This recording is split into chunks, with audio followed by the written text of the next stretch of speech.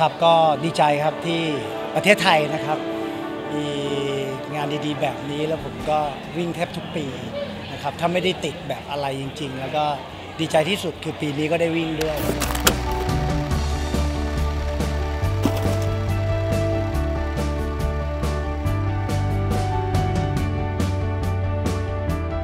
สิ่งสำคัญ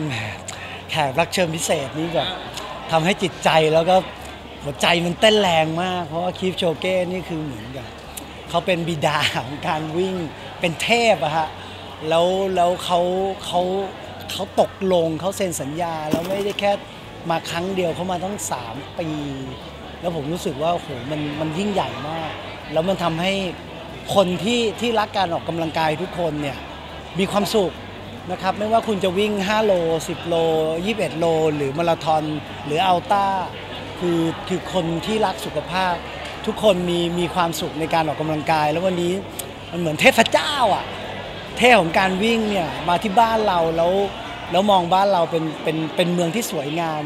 เป็นสิ่งที่ดีแล้วมาให้เป็นเหมือนอินสปิเรชัน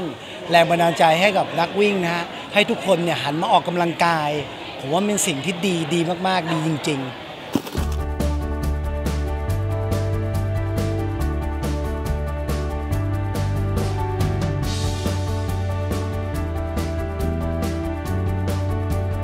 ผมว่าสุดๆ แล้วแล้วการท่องเที่ยวของเราเนี่ยก็ผมเชื่อเลยครับว่าจะดีขึ้นเรื่อยๆ แล้วยิ่งจัดงานดีๆแบบนี้นะครับ แล้วก็ทำให้เนี่ยคนเนี่ยมาวิ่งที่เมืองไทยเยอะๆสิ่งสำคัญคือมันจะมีการบริการที่ดีก็คือทุกคนก็ต้องร่วมมือคนไทยนะครับที่อยู่ที่อยู่ในกรุงเทพหรืออยู่ในเมืองไทยก็ต้องช่วยกัน ผมเข้าใจในเรื่องของแบบ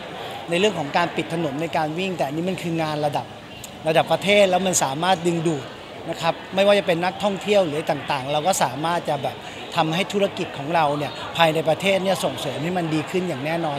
ช่วยๆกันครับอันเนี้ยอันนี้อยากอยากจะบอกเลยมันเป็นงานระดับประเทศจริง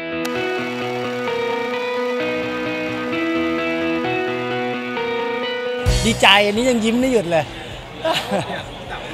ของผมอะฮะโอ้ยเขาอยู่ตรงไหนผมต้องไปลงตรงนั้นเนี่ยครับ อยากอยู่ใกล้ๆใคร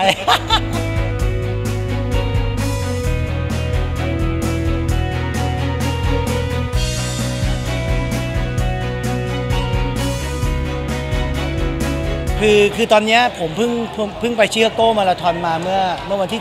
13 ตุลาคมก็เป็นเป็นมาราธอนที่ 13 ในชีวิตนะครับแล้วก็เป็นดาวที่ 4 นะครับของ World Marathon Majors ตอนนี้เหลืออีก 2 ดาวนะครับก็คือลอนดอนมาราธอนแล้วก็บอสตันซึ่งบอสตันเนี่ยเคยคิดอยู่แล้วว่าอยากจะทำเป็น charity ทั้งไปทั้งกลับทั้งที่เป็นของ global ด้วยแล้วก็ของเมืองไทยด้วย แล้วก็ลอนดอนเนี่ยได้สล็อตมาเรียบร้อยแล้ว เดี๋ยวก็จะได้วิ่งวันที่ 27 เมษายนเนี้ยก็จะเป็นปีหน้าจะเป็นลอนดอนมาราธอนอีกไม่เกิน 6 เดือนเนี้ยก็จะเป็นดาวที่ 5 แล้วก็จะทำโปรเจกต์นะครับทำ charity กับบอสตันมาราธอนนะครับก็ก็จะจบคอนเดอะลิงในวัย 50 บวกบวก